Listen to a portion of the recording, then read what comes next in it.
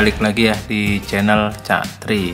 Kali ini saya mau review ya build terbaru saya nih micro drone toothpick 3 inci 2 sampai 4S ya. Tapi saya biasanya pakai baterai 3S ini baru saya build. Ini lumayan nih partnya ini lumayan premium semua. Jadi nanti saya coba jelasin satu-satu. Sembari akan saya kasih alternate-nya yang uh, lebih murah partnya dengan performa yang uh, lumayan. Oke yang pertama ini untuk FC nya ini pakai uh, beta FPV IO yang 20 ampere ya yang ini nih.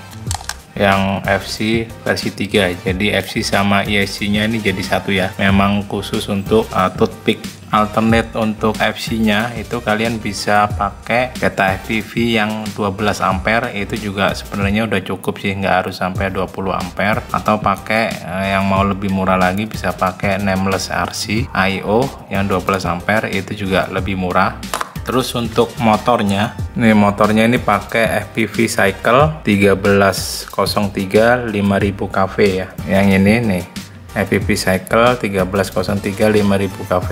Terus alternate motornya, kalau misalkan susah nyari yang FPV Cycle karena ini nggak dijual di Indo, itu kalian bisa pakai Flywu Robo serinya 12025 ya 5500 kV ini hampir mirip performanya dengan ini atau juga bisa pakai yang 1103 8000 kV itu juga bisa dipakai. Cuman memang kalau untuk toothpick 3 inch saya rasa punyanya FPV Cycle 1303 5000 kV ini ini yang paling efisien dan performanya bagus. Untuk framenya ini framenya saya juga pakai punyanya FPV Cycle TP3 bentuk bentuknya kayak gini nih. Dia bukan unibody ya. Armnya bisa dilepas ya dibaut di empat sisi ini. Jadi kalau misalkan patah ini udah ada cadangannya. Bisa nggak perlu beli frame penuh tapi tinggal beli cadangannya framenya ini aja. Tapi ini ada alternatifnya. Kalau frame ini kalian bisa cari ini frame 3 inci. Contohnya kayak ini. Ini frame acrobot ya 3 inci juga. Ini juga bisa dipakai. Untuk receivernya ini pakai TBS Nano ya. Ini saya pasang saya letakkan di bawah sini.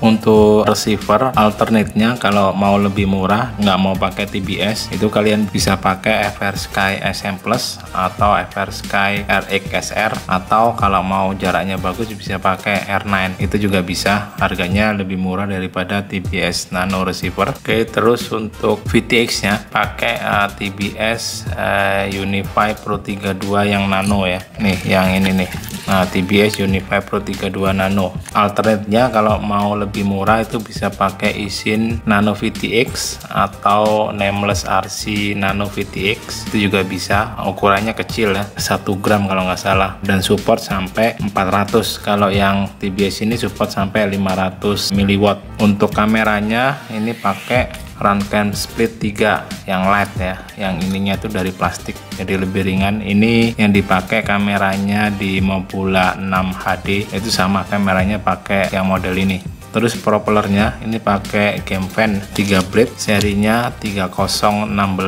durable shaftnya di 2 mm karena untuk motor ini shaftnya bukan satu setengah mm ya tapi 2 mm untuk strapnya saya pakai karet nggak pakai strap biasanya karena ini menurut saya yang lebih simple dan lebih kenceng ya ngikatnya baterainya lebih rapat konektornya pakai ST30 terus untuk baterai itu saya pakai yang ukuran 300 mAh ya 3S jadi ini sebenarnya support 4S tapi saya pakai 3S sudah cukup lah. Kenapa pakai 300 bukan 450 mAh kayak gini. Ini karena saya ngejar bobot ya. Jadi ini bobotnya itu jauh banget selisih lebih dari 10 gram kalau nggak salah. Jadi saya putusin pakai ini. Ini menurut saya yang paling efisien ya. Dari sisi flight time sama performa itu efisien Oke terus kalau ditimbang ya ini beratnya sebentar ini harus pakai ginian.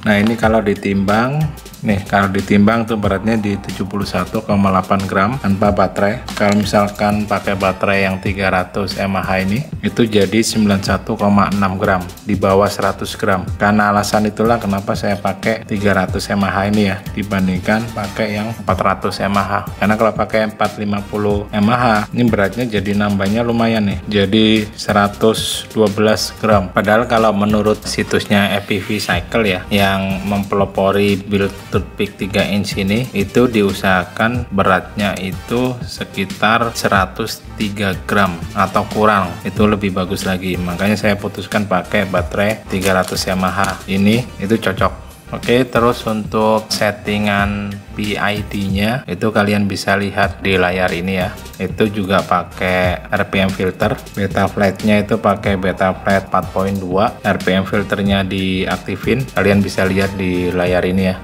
Oke paling segitu dulu dari Cak Tri. Uh, semoga videonya bermanfaat. Untuk uh, footage videonya kalian bisa lihat di akhir video.